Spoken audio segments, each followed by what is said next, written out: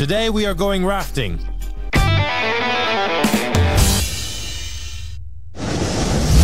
After being picked up from the hotel, we drive to Phang Nga province, not far from Phuket, and our first stop is at the bank of a local river. This is where the rafting will take place. We board two people each on bamboo rafts and enjoy the local beauty for the next hour.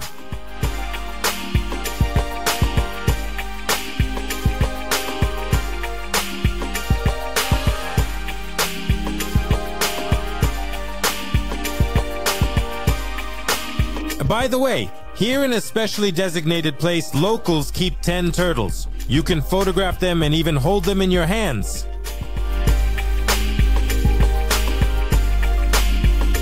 And after that, we go riding on elephants. We sit two people on the elephant and ride for about 15 to 20 minutes through the local coconut plantation, along the riverbed, or through the jungle, depending on the situation. There is also one of the most favorite tourist fun, bathing with an elephant.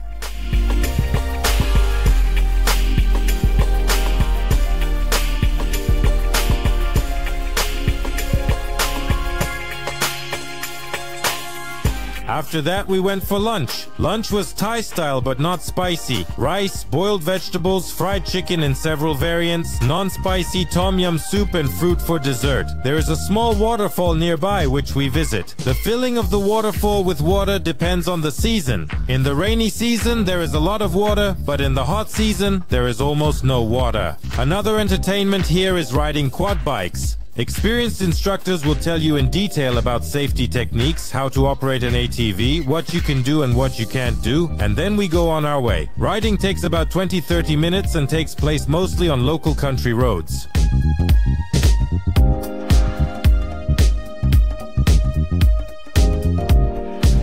And after that, we move out towards Phuket. On the way, we stop at our last attraction, Wat Suwangkuha Temple.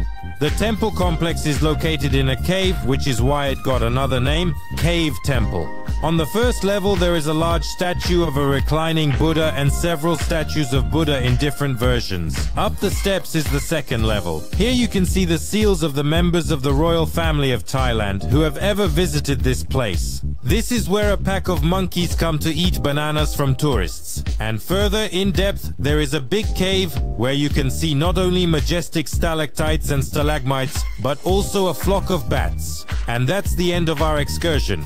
And we go to our hotels. In general, you can choose and we will see you on the next excursion.